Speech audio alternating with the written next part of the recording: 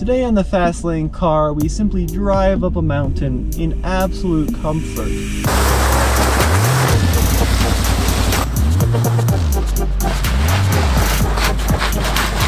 Hey guys, welcome to a classic TFL old versus new video. And Tommy, what are we driving? This is the new Range Rover Sport PHEV. What's a PHEV? it's the plug-in hybrid electric vehicle. And in front of us, the camera vehicle, is our old Land Rover LR3. And we're gonna take this, actually we're gonna take both of them over to the start of the Ironclads, which is now open because it's springtime in Colorado and a lot of the snow is melted. But it will be a fun comparison because this vehicle is in some ways the future. Yeah, it's um, it's a hybrid and it does run on electricity alone. However, there's a caveat. We were initially going to find out how far we could go on electricity only, but because it's a hybrid, it won't let us go into pure electric mode. And why is that, Tommy? You know, honestly, I have no idea, and it's frustrating me to no end because there's a number of conditions that have to be met. The battery has to be charged. The Yep. battery is almost completely charged. Yep. EV mode but button is pushed. Yep. Um, climate control is off. You know, there's no excessive demand on climate control. Auto start stuff is on. Why aren't you engaging EV mode? There's no reason why you shouldn't be engaging it. Uh, we did look in the owner's manual and they said if the ambient temperature is too cold, then it will not enable EV mode. What's the ambient temperature out there? 53. Yeah, um, and let's face it, Tommy, we've had a pretty much train wreck of an experience taking any electric vehicles off road at this point. Right. That we've done. We've taken the Tesla Model X, which we have with air suspension off road, and that was a train wreck because, well, it didn't have enough grip, it used a ton of energy, and I was afraid of puncturing the battery case and starting a forest fire. Yep. And now this vehicle, uh, which is supposed to be electric, we can't get to just go in electric mode. So I know this vehicle won't go into EV mode if you're in rock crawl setting Yes. or sand setting. Yes. Or in the regular auto setting, right? This Yes. is your regular street mode. And we should explain kind of the range on the hybrid system. 19 miles on full electric. It says 24 right there. It does. So the car will actually read over 19, but the EPA says 19 miles on full electric. And what's the fuel economy when you're on pure electric? Well, when you're running on electricity and gasoline combined, when Yeah. you have charged the battery, Yeah. 42 mpge. okay, and when the battery is depleted? 19. Now, of course, one of the things that we do want to test when we get to the Ironclads actually is this vehicle's off-road worthiness, right? So that's Right. why we bought it here. The question, Tommy, is are we going to take it up the Razor Rocks? Well, so there are two good things. Yeah. Um, first of all, it's got a rock crawl setting Yeah. and a low range, which is awesome. That's all great stuff. And it also has a height adjustable suspension with really three different off-road heights. So when you put it in off-road one, that's about 1.4 inches above normal. Off-road two is a couple inches above normal. And then there's even an extended mode for when you get stuck. And that really raises up the ground clearance a lot. So there's a lot of impressive clearance in this vehicle. Overall, I think it's time that we got out of this car Yep. and actually compared them side by side. Yeah, let's take a look.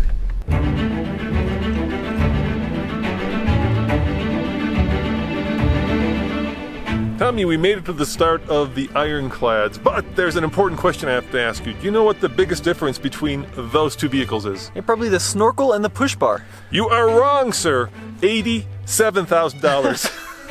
That's which, right. Which means that we won't be afraid to get the other one a little dirty and maybe even a little bit broken when we go up that trail. Probably the biggest difference is just the design. The Discovery here is squared off and boxy and looks kind of old school while this new Range Rover is swoopy and smooth. But actually when you start pulling things away, they're pretty similar underneath because the Range Rover rides on fully independent air suspension that's height adjustable. And that's exactly what the Land Rover Discovery here rides on as well. They both have terrain response and they're both pretty much unibody vehicles. So actually underneath the skin, they're not really all that different. All right, Tommy, this is called new versus old. So let's take the new one up first and see how it compares to the old one. Oh, look at that. Is it electric? EV mode has decided to make a comeback. All right. Well, why don't you head up Okay. and I will kind of stand along the side and see how this thing is doing from the outside while you're driving it. So here's what I'm gonna do. Yep. Uh, rock crawl mode is the best mode, but it'll disengage EV mode. Okay. So I'm just gonna leave it in auto. Yep. Suspension is raised up. Yep. So let's see if we can do the quietest hill climb ever. And we're not going to do the Razor Rocks just because I don't want to tear the bottom out of this Range Rover. Yeah, it's not ours, and it's uh, a lot of money that we don't want to owe to our friends at JLR. So we'll, we'll kind of we'll kind of go around that, and get to see how we do in the old one.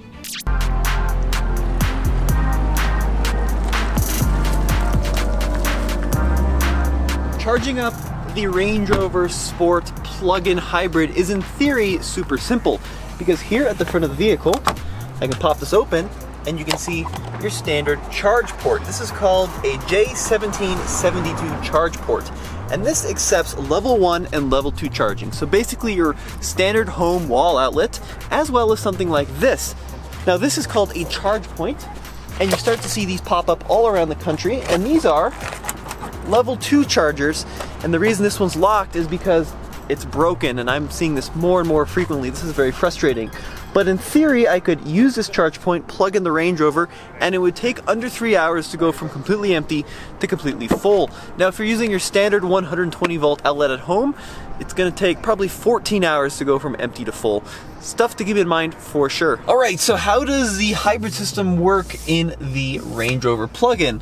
Well, you've got a large battery pack in the rear, and basically that has enough power to propel this vehicle 19 miles according to the EPA. And then in the front, you have a small gasoline engine that will work as their standard hybrid for when that battery dies. Now, getting in the car and starting it up, it will start off in primarily EV mode, meaning it will use up the battery until it's completely depleted, at which point it will start using that gasoline engine in the front to fill the gap in power, of course. But there are a couple other modes. There's an EV button down here, which will lock the vehicle in electric mode so that the gas engine doesn't kick on at all, of course, until the battery dies.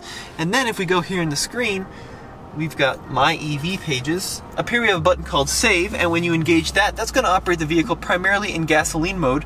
So if you're on a highway, you can save your electric power for when you get to the city.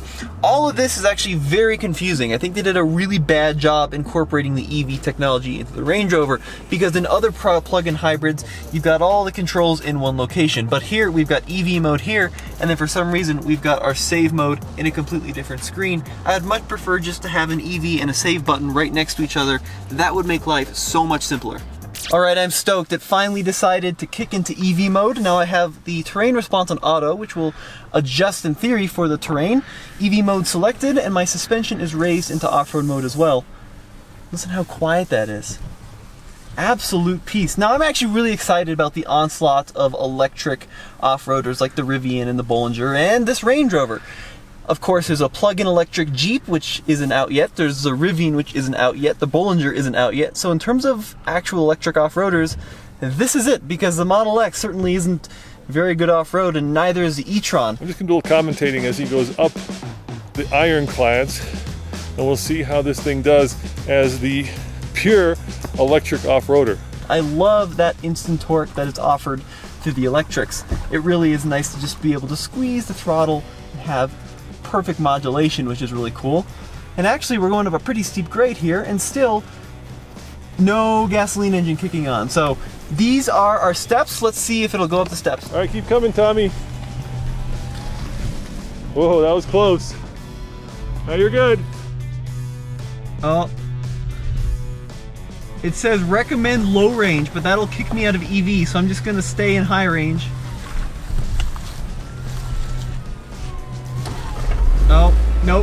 It gave up. Well, there you have it. It went like uh, 20 feet before it turned on the engine. Whoa, look at this. It said select low range, transmission is overheating. All right, well, low range it is. Oh man, well, that was fun while it lasted. Of course, low range multiplies the torque, so I guess you can overheat the transmission even in EV mode. There you go, the more you have it, the more you know. Man, these, these Range Rovers are so good off-road. They don't get a lot of credit, but they really will do super well. Coming up here, let me show you the Razor Rocks. And of course, the reason they're called the Razor Rocks is because look, they're shaped like razors. And uh, we've taken our trucks up here. We've taken all kinds of vehicles, but we're not going to take this thing up here. I think the biggest difference between these two cars, besides the price, of course, are these. Yep, where the rubber hits the in this case dirt. These are Scorpion all seasons, which are fine. They're, you know, typical all season tires with a little bit of off-road grip and cred, but these are all-terrain Terra Grapplers, basically an off-road specific tire. So when it comes to allocating power, both cars do an admirable job, but this tire will have a lot more grip than this tire. But then again, on the road, this is probably the one I want. Off-road, this is the one you want. All right, I'm not gonna do the Razor Rocks. Interesting, you can overheat the transmission in EV mode. That's something I did not know.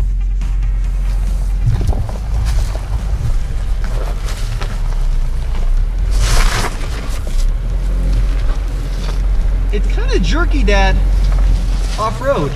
How's it doing? It's kind of jerky. It's like the gas engine's kind of fighting the electric motor. Feels like they should be able to work together a little bit better. I am driving as smoothly as I can, gently modulating the throttle. It's like the EV motor gives me a burst of torque and then the gas engine kicks in, and they're not really playing all that well together, which is definitely interesting.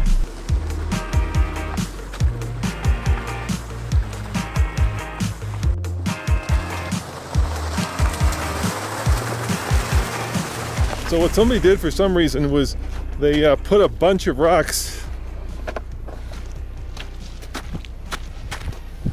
into the uh, tire tracks and I think that would be really bad if Tommy went in there.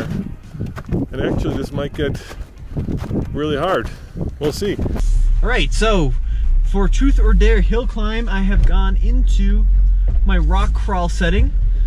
Low range, of course. We've kind of ditched the whole EV idea at this point. We're using good old fashioned dyno juice. And man, when you are using good old fashioned dyno juice in low range, it's amazing how capable these things are. I wish I could uh, air it down, but not much I can air down with 21s, if being honest, so we're leaving stock tire pressure. now it's going to get interesting to see if you can get through the next part because it gets pretty crazy right there So the way the four-wheel drive system works in these Land Rovers, what? What are you freaking out about? Hey, I'm not stuck. I just can't see. Is there a are you stuck or are you okay no? Is there a rock or anything there? Let me look. Uh, no, you're just you're just out of the. Yeah, keep going. You got it. That's it. Man, even on these all seasons, going up this snowy hill climb, it's working really well. I'm super blown away.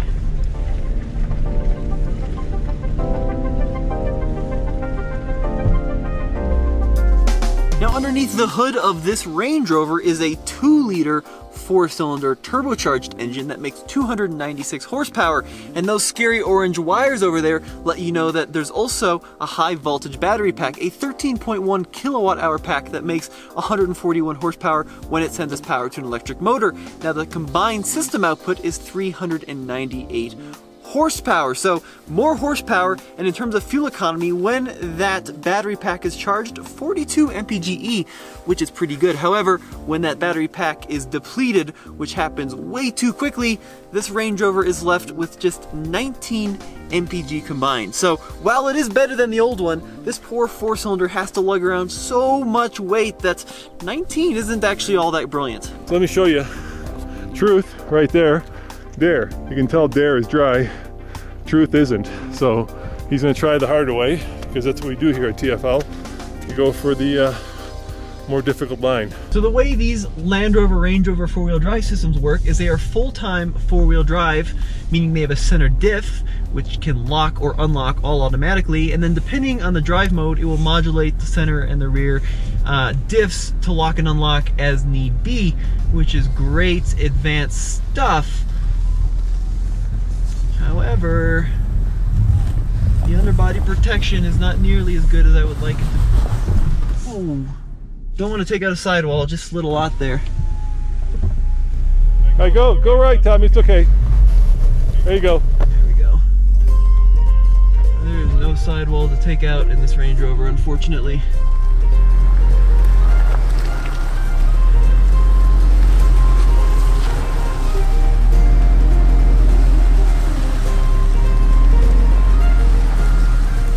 right, well, a little bit hair-raising there, but the Range Rover made it up.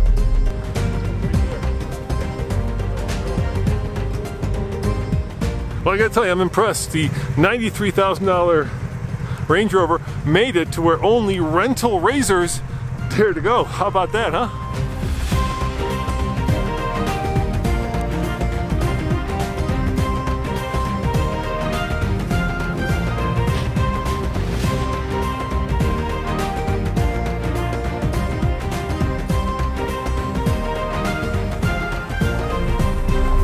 So going down, I can use Land Rover's or Range Rover's extremely advanced hill descent control system. Dad is out there spotting me.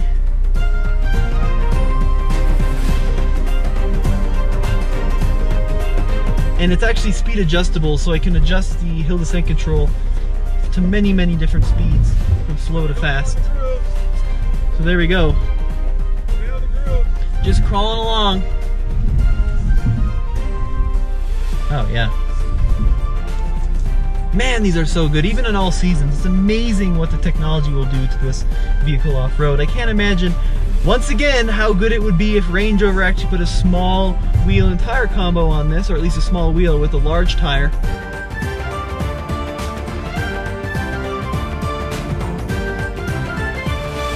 One thing that both of these cars do better, I think, than any other vehicles in the world is the ability to combine off-road and luxury at the same time. So there is no other vehicles that I can think of, be it a Land Rover or a Range Rover, where you can, in ultimate comfort, in ultimate luxury, be completely at ease going off-road. Now, having said that, this car cost $87,000 more than that car because that one cost $6,000. So when they're new, there is going to be some apprehension about potential trail damage.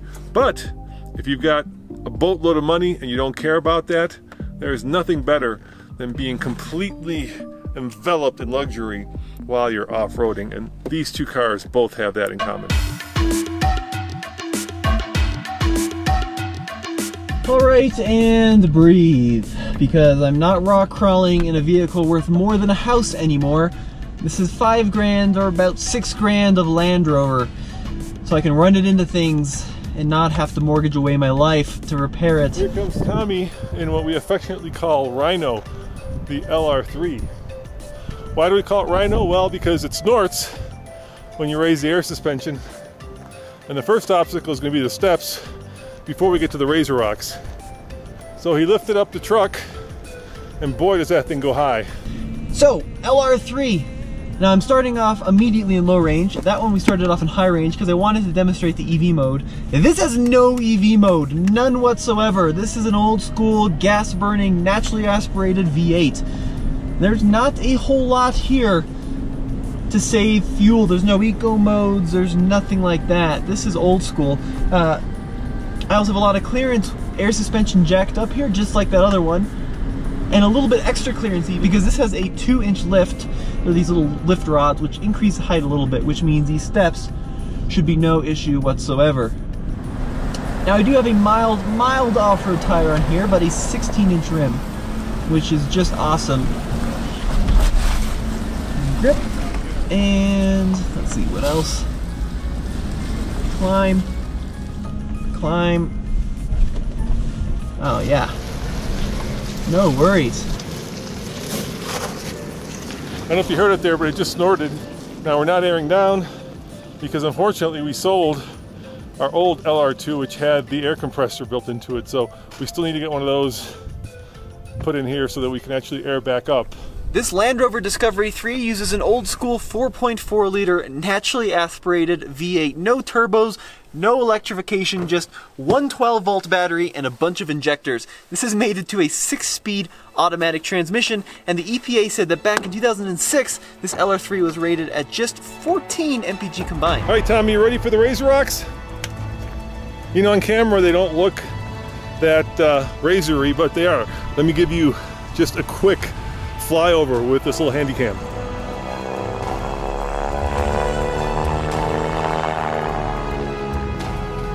All right, here he goes, Razor Rocks. Drive, low range, rock crawl. All right, now, there was an optional HD off-road group in these LR3s that gave you a proper rear locker. We do not actually have that. So when we get it articulated, it's all going to be brake based.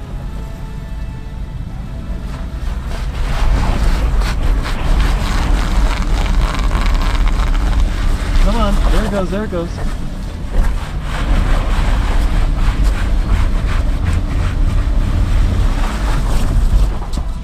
Woo! You came so close to that tree. How am I doing on clearance? So close. You're good on clearance. Oh With yeah. those open dips. Yeah, but it worked. It worked, yeah. Typically anything short of a rear locker won't get you up here. This one did though. I am actually oh, Tommy you spoke too soon. Keep your foot in the throttle and it will figure it out. Just not very prettily. Is that a word? Prettily. All right. Good job, Land Rover. Yes. So terrain response, more than just a gimmick, I must say. In rock crawl mode, it really does brake the wheel that's spinning and force power to the wheel with traction. You just gotta plant your foot in it and wait. Stepping inside the Range Rover, oh, it's just such a nice place to spend time because there's leather across the dashboard, there's leather on the seats, and they're so soft, and everything is just great to touch, and the materials are brilliant. It really is probably the best road trip vehicle anywhere. However, the infotainment system here is a little bit of a disaster. It's slow to respond. I find it surprisingly hard to use. Here, for the climate controls, they wash out in the sun, and then your center display here is very high resolution, but once again, super hard to use. So while it's a great place to I don't know, drive a thousand miles across anywhere in the world. Once you start having to mess with things, it gets a little bit tricky.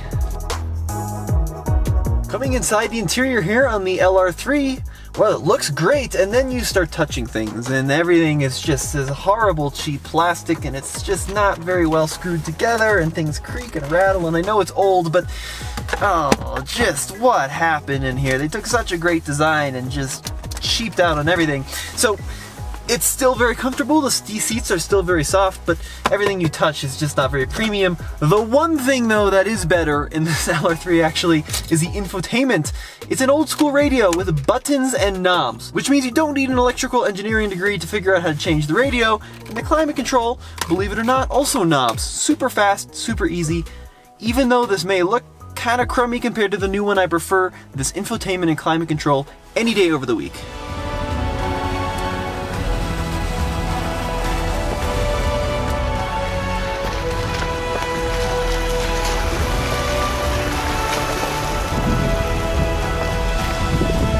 Alright, so a couple of observations compared to the Range Rover. This is a little bit cushier, the ride is softer, partly because I think the air springs are kind of worn out, and partly because the sidewall on the tires, it just has a much bigger sidewall patch.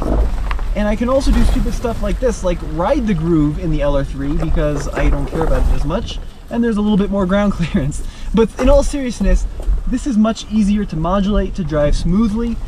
Uh, I think that there needs to be a little bit more work in that gasoline engine electric combo programming. It works great on road, off road, it's a little herky jerky. So that could be improved, but yeah, I mean both of them are really good off road. How's this boy doing? Oh, it's such a such a pillow. I mean, Yeah. you just like fall asleep in this off road. It's so easy. All right, you're gonna do truth or dare? Probably definitely dare. Yeah, I think so too with these all terrains. I don't know if this has more ground clearance, but I think it does. Yeah, because a little bit of a lift. Yeah. Uh, and you know, underbody protection. This is a little bit, well, certainly cheaper to replace. Yeah. And I think a little bit more as well, especially in the front area. All right, good luck. All right. All right, there goes Tommy. Up there, of course. Today on the Fast Lane car, we simply drive up a mountain in absolute comfort. Because this Land Rover could not make this easier or softer if it tried. This is 14 years old. It's a pretty darn steep hill, even though it doesn't look like it on camera. And there's no problem. It's full-time four-wheel drive, low range, select a mode, any mode really doesn't matter just start cruising and it will do it all day long happily. Oh man, these are these are more comfortable than I think the Land Cruiser, honestly. I mean, yes, the Land Cruiser is far better made, but just in terms of downright comfort, you can't beat these. The LR3 just seems to be a little bit more of a natural athlete up here. It's a little bit higher on its tippy toes. It feels like there's nothing here that's really challenging it, whereas the Range Rover was challenged and overcame but nevertheless challenged. All right, so going down the hill, I do have a hill descent control, which I'll activate now. Oh yeah, works like a dream. Not quite as sophisticated as a Range Rover, so the terrain response in this works well. It brakes the wheels that are spinning send power to the wheels that have traction. It takes time though. That new Range Rover is so fast, it's instant instantaneous. This one's a little bit slower, takes a little bit more time to think about it, but once it's done thinking, it figures it out and uh, you, you go just about anywhere. Now, speaking of suspension, they both have four-wheel independent suspension, which would usually be a problem out here for articulation. But Land Rover uses a system called the cross-linked air suspension, which is essentially a tube that connects various ends of the vehicle together so that when one wheel articulates, the other one is pushed down. It actually emulates a solid axle. It's not quite as good as a solid axle, but it works pretty darn well.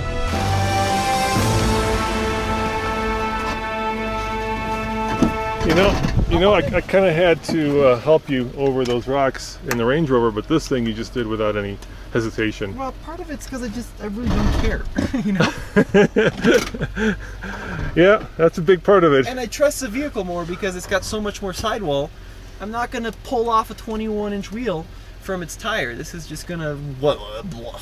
I gotta tell you, uh, Ratbird here was a little scared, Tommy. Who's Ratbert? That's Ratbird right there. He's our he's our uh, LR3 Rhino mascot. They get along very well, Ratbird and Rhino, Why is it Bert? because he looks like a Ratbird. Look, he's just a little scared. He was like, "Yeah, I was scared." Oh, you hear Rhino? He wasn't scared. So I think what we've learned today is that EV mode simply does not work very well off-road in the new Range Rover plug-in hybrid. However, it does have an amazing four-wheel drive system when the gasoline engine kicks on. Low range, air suspension, it's just about all you need. Wheels and tires are terrible for off-roading. However, swap those out and I think you're gonna get pretty close to the off-road capability of Rhino or 06 Land Rover. So, which one would you rather have off-roading? In current form, the LR3 all day long. Those 21s are just useless out here. You know, the biggest difference, Tommy, is eighty-seven thousand dollars, right? Right. And really, that you know is what counts when you're out here and you're potentially damaging these vehicles. And maybe seven years from now, when this thing is much more affordable, then I think people might be taking it off road. But for right now, I'll take the LR3, the old all day long. Well, as always, this is Roman. And Tommy, head over to tflcar.com for the latest and greatest in old versus new off-road reviews. Now on road, I'd probably go for the new one. Oh, for sure. Absolutely.